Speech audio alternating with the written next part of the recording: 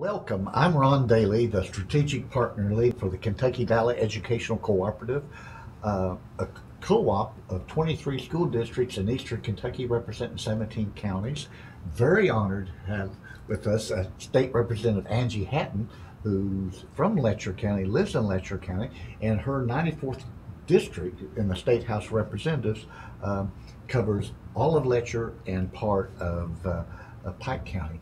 And so you just had a chance to speak to some young people here, the members of the KVEC Student Senate. So talk about the young people that you just met and your excitement about what they're doing. Well, Ron, thank you for inviting me on this morning. As you know, I'm a big fan of, of the holler and, and, and Ron Daley. So I'm, I'm glad to be here today. And I'm especially glad to get to talk to young folks. Um, I'd much rather spend my day with them than with politicians or lawyers. but they are some of the brightest, um, most optimistic people that you'll encounter. I mean, kids have not had an opportunity to be um, you know jaded by the world yet and they just they they seem like especially the particular types of kids who'd run for student senate are are just um, they're full of ideas and they're awfully optimistic and they give me a whole lot of hope for the future of eastern kentucky And uh, y- you are a very strong advocate for public education. I know you were at one time a member of the site-based council there at one of the schools. I in- was. I was elected for, for five years at the elementary school, Whitesburg Elementary, and then um, Whitesburg Middle School when my kids were younger. talk about the state of public education and what you would like to see happen in public education in the Commonwealth. Well, you know, um, Ron, especially in eastern Kentucky, where it seems like teachers are being asked to do more with less every single year, you know, it seems like their funding challenges um, are harder and the expectations on teachers and administrators at public schools in Kentucky are just getting um, pretty overwhelming sometimes. You know, they're um, expected to have such high achievement and we keep um, neglecting to give them the tools they need to do their job. And I think that it's time in Kentucky that we respect teachers for the job that they do, and school administrators and, and classified school employees. Um, I think that it's high time we recognize how important they are to our community and um, start rewarding all of their hard work instead of adding criticism on top of um, the, the terribly hard job that they're doing. Well, uh, being a state legislator is a hard job too. Uh, you're constantly uh, having people that are not going to be pleased with the whole General Assembly, politicians in general, and then even good legislation you might be proposing. Why did you take up that challenge and that aggravation to run for the state House of Representatives?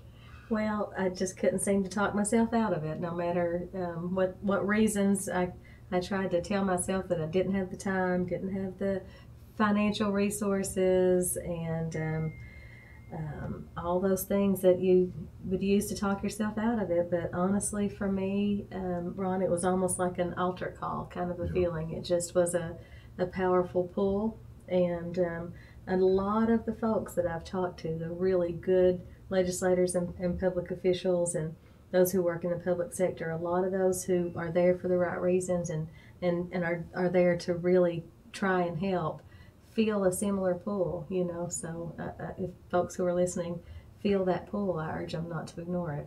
Well, you've only been in now, I guess, in your second term. Yeah.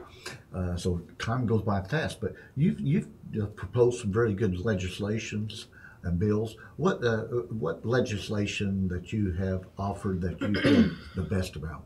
Oh, there was one thing that I worked with the Kentucky Secretary of State about that affects young people in particular, um, and that was to allow folks who are 16 and older to start working, uh, be poll workers, and um, help with the election process. I think it would get kids interested younger. Um, but um, of course, I support all the legislation that's going to help public schools and reject any legislation that uh, in any way would promote a charter school or even a voucher program that would take funding from our schools. Funding's tight enough as it is. Um, and um, yeah, just always try to look for ways to help public education. you represent an area, well, Letcher County in particular is one of the very hardest hit areas with the loss of coal jobs. You know, we've lost, uh, you know, so many thousand and, uh, uh, in the last about six, seven years. Um, what are the things that we need to do to help the quality of life to improve, uh, to keep people from having to leave the region because of the absence of jobs? Uh, what can we do to grow the economy? Well, you know, we have a dedicated group of people in Eastern Kentucky that are devoting their energy and their resources to trying to solve our problems. We need to listen to those folks. We need to listen to the young folks and their ideas. Um, we've got to diversify our economy. You know, um, maybe coal can still be a part of it, but it can't be the sole driver anymore of Eastern Kentucky's economy. So things like um, farming, um, hemp farming, in, um, even medicinal marijuana, um, and basically just finding ways to use our resources. So any tourism opportunities, um, trail systems. We're working on a ATV trail system that should bring a lot of folks to this area. Um, there's going to be a big announcement tomorrow at SOAR for uh, something good that's happening in Letcher County, tourism-wise, that I shouldn't shouldn't spoil probably, but um, it's going to be a, a, really interesting tourism opportunity to draw folks to this area to see the beauty that we have here and, and sort of take advantage of, of what God gave us here in eastern Kentucky. We need to um, continue to put money into fighting our opioid crisis because not only is that killing good folks in eastern Kentucky and ruining families and communities, it's also making it harder to um, promote economic development here because we need to make sure we have a, um, a workforce that can pass drug screens Yeah. and um, um, not be folks being a drain on society, but being able to be productive members of society again. So our method so far of just incarcerating people has not worked, and we have to find other ways to do it because um, you know we're we're learning that just putting folks in jail doesn't stop them from being addicted, and a lot of these folks would never have committed a crime if they weren't addicted. So they need treatment. And that goes back to the earlier question you talked about the special challenge that teachers have. We're putting so many responsibility on them with the breakdown of the family and the fact that our state has the highest percentage of kids in school that are being raised by someone beyond their besides their parents That's right. and uh, and so and then our region is even higher than the rest of the state Yeah. so our teachers here are almost have to take the role of the mother dad hmm as, as a part of that Yeah, with so many of our children in out of home placement, and I did juvenile court as a prosecutor for nine years. So I did those placements and removals uh, every Tuesday of my life for nine years, and I definitely know what that looks like. But um, it, since we are the state that has the highest out of home placement, we're also the um, highest in the nation next to only Oklahoma, and I think we're expected to surpass them this year in our rate of incarcerating women. And of course, that an awful lot of those women have children, so Yeah. that's leaving more and more children without their mothers because you know they have to be placed somewhere else while their mothers are incarcerated. That often a teacher or a school system is the only stability these kids have, um, and expecting the par- the teachers to have time to nurture them the way that they need to be nurtured, while at the same time getting lessons plans and um, you know sometimes there's talk of cutting funding for FRYSCs when those are the first line for these kids to protect them. Often it's a FRYSC worker who notices they, you know, don't have proper clothing for the season or that they uh, appear to not be healthy and or bathed and, and, and that's often the way we would identify a problem at home is from these FRYSC workers. So we have to make sure they have the funding they need to do their job and that uh, we take some of the stress off of teachers worrying continuously about their retirement system and allow them to focus on the things that they really um, plan to do when they decided to become teachers, and that's help kids. um, you're very fortunate to represent an interesting part of the state. And, you know, we talked about there's hot spots of exciting things going on in different communities. But Whitesburg, Whitesburg is developing a, a vibe. I know uh, you've got some young entrepreneurs that created some interesting opportunities, whether it's Kentucky Moonshine Mist, whether it's the parlor with the tattoo, the music venues, uh, and eateries. So there's some exciting things going on in Whitesburg. Yeah, I'm awfully proud of my hometown. I, I, really appreciate you offering me the opportunity to crow about them for a minute. But there, there are some really creative people in Whitesburg who just are also real stubborn and determined that we are going to save our town. We're going to save Eastern Kentucky, and we're going to try different ways until we figure out what works. But there are some some new places to eat, and um, you know, there's the vinyl record shop downtown, and uh, the Live Amp concert series brought some really amazing uh, music talent from all over the world to, to come to um, Whitesburg for free concerts 10 summer 10 weeks this summer and uh, they brought with them lots of folks who were amazed at our little town and we really loved the opportunity to show it off And then you got Appalshop, which is Mhm. also a bunch of young, creative people doing some exciting stuff. Yep, and, and so they sort of rotate in and out from other parts of the country, and um, we get a chance to to show them what Eastern Kentucky's like, and each of them that comes tends to make a little little change in the community as they come here and impact it, 'cause they're some talented folks and sort of a little cultural hub there in our town. Well, for people that don't know Eastern Kentucky or its people or its natural resources and mountains, what is it that you'd like to tell the world about why you love living in Eastern Kentucky?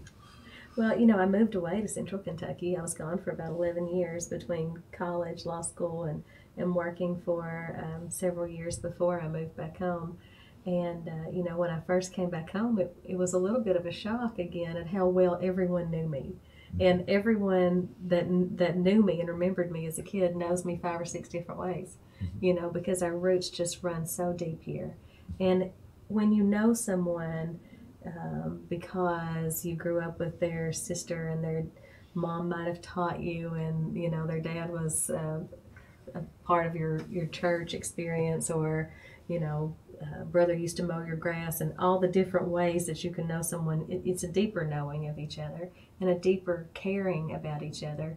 And uh, we tend to extend that to strangers too when they come in. Uh, the biggest selling point and i've seen a lot of surveys about tourism um, our biggest selling point here, besides our natural beauty, is our friendly people. We really just uh, tend to reach out and, and try to help and um, offer hospitality and, and food and and uh, I hope that folks who come from outside will get a chance to um, really talk to some of the locals when they come in because they really are the finest people anywhere. Well, and I'm one of those foreigners, born out in North Dakota, grew up in Texas, New Mexico. 44 years ago, I came in to work at Alice Lloyd on Caney Creek, and the people there embraced my family so much, and so I've been a part of it. And the one thing I've learned, hitting on some of the things you said, that what people don't understand is that uh, people very family oriented, very traditional oriented. They're very they, they, they they're very proud of their ancestry and uh, what they've accomplished. Love these mountains. There's a strong tie to the land. So, because of those factors, people don't want to leave. And so, when you've had the terrible economic downturn, a lot of people say, well, just move away, find other places. But there is a very strong attachment to place here in eastern Kentucky, Yeah, more so than other areas. I don't think people understand what that means when they tell us just move. I, I don't think they understand um, how deeply troubling and affecting that is. Um, I can't tell you how many people I know who moved away to find work in their youth who can't wait to get back as soon as they retire. And I'm sure you know all sorts of Yeah. people. They may, may have gone to a more industrial um, based city and, and gotten a job in manufacturing, but as soon as they get a chance, they're always coming back home. Even Mark Twain said that he never met a Kentuckian who wasn't either on his way home or talking about going home because this is their home, and it is hurtful to Yeah. hear people say that we should just pick up and move.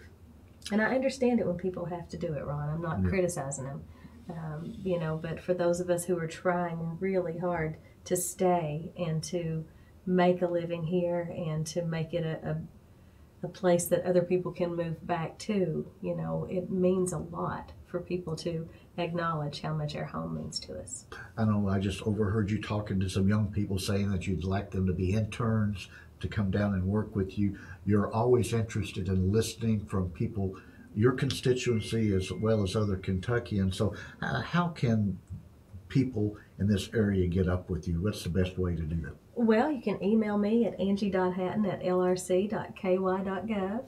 Um, you can reach out to me by phone at the Legislative Research Commission. It's 502 564 8100. Um, and you can find me at my law office in downtown Whitesburg, or you know, just about everybody has my cell phone number. So I, I really don't mind how you reach out to me. Find me on social media. Um, I'm on Twitter, Instagram, and uh, Facebook, and uh, every way that you can get a hold of me, people do. You know, and I don't mind that. I, I, I, I- I love the job, and I love the opportunity to get to talk to people. And anytime that I find myself complaining about any aspect of my job, I try to remind myself that I literally went door to door and begged for this job. So, but I do love my job. Absolutely, it means a lot to me. Representative Angie Hatton, thank you so much for Thank being on our program. having me. Appreciate it.